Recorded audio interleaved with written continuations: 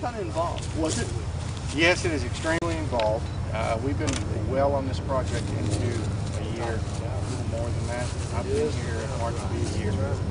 Uh, started in the industry late 2006. Worked for several different wind companies. Been Sweetwater, Texas to Marshall, Minnesota. Uh, ran crews up to 20. Uh, I got involved in this project uh, by uh, met David Murphy at church.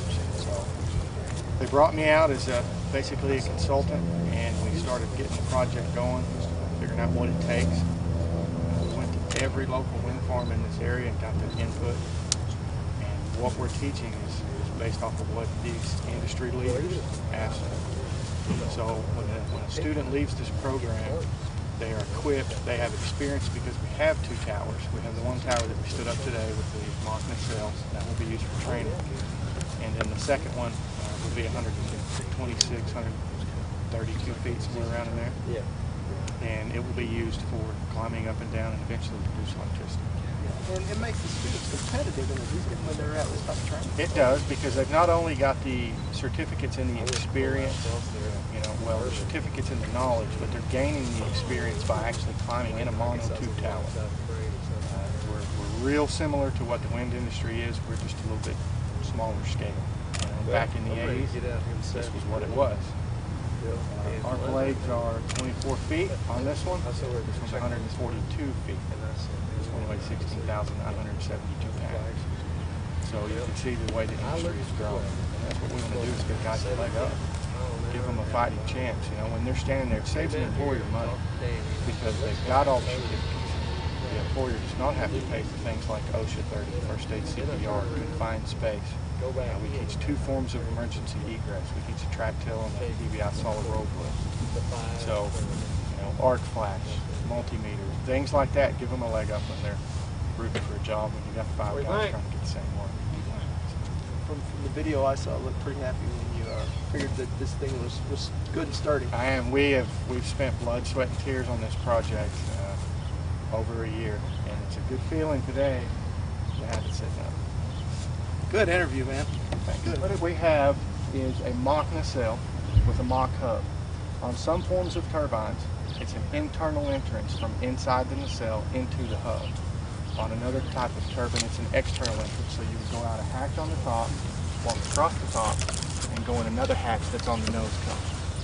What we have on the inside of this is a hatch that's on the inside, two hatches on the top. We have a mock gearbox, a mock main shaft, mock-up generator, obstacles that people will have to get around because that's what they're going to be in the real industry is they're going to have a gearbox in their way if they're trying to rescue somebody.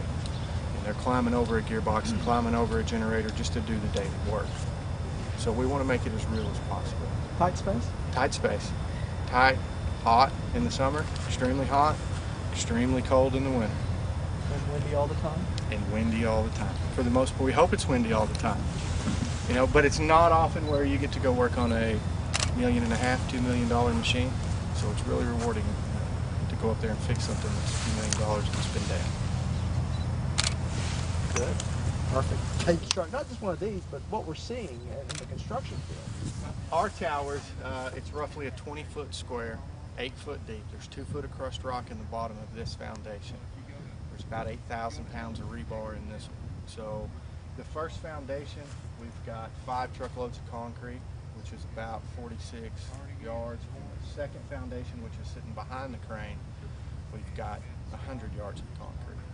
So they're both about the same width and the same depth, but in a megawatt class turbine, you could have anywhere from 34 truckloads of concrete. And uh, I don't honestly know about the rebar, but it's a lot more. So, and I can get you some pictures if you want to see it. Is solid. Uh, there's a lot of work that goes into this. Every bolt in this tower and every bolt on every wind farm and every turbine is torqued regularly. So, you know, that's one of the things that we teach. We use a HYTORC. It is a hydraulic torque device.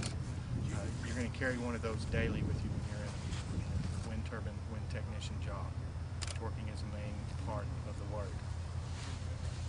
Usually you'll have at least two technicians on a crew, sometimes three, it could be up to four, depending on the work that you're doing.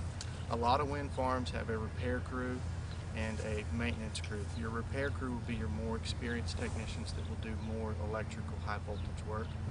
And your maintenance crews will be the guys that are doing the day-to-day maintenance and service. Uh, it, it's a big machine. It's got a big gearbox. It's got a big generator, big main shaft. Everything needs to be greased regularly, torqued. Filters that have to be changed. You've got hydraulic filters in some turbines. You've got oil filters in others. Oil filters in most of them for the most part. But it's a it's a daily grind of one getting you and your equipment to the top. Uh, it's 250 feet for most turbines. Some of them are 300 feet, and even if you're in shape, it's still a workout to get there. Your your gear that you're wearing weighs 14 pounds. Most people in the industry use DBI Sala ExoFit harnesses and a Lad-Saf system, and that's about 14 pounds. So by the time you get there and catch your breath, then you're torquing, and you know your torque equipment can weigh anywhere from, you know, depending on what size pump you got, but 20, 30 pounds on them. So If you're not in shape, you're going to get that away. if you're not in shape, you're going to get that way. If you don't stretch, you're going to be stretched by the first platform. Okay, gotcha, gotcha, gotcha. Good.